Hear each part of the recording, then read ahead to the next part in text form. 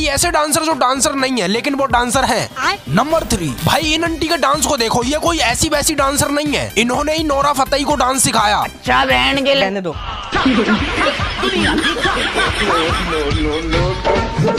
आग लगा दी आग लगा दी आग लगा दी। चुप कर पे कुत्ते।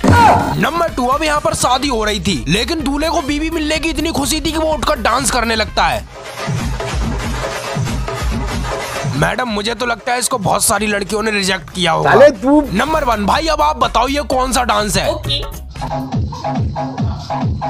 अरे रुक जा के नागमणि लेके जाना पूरी।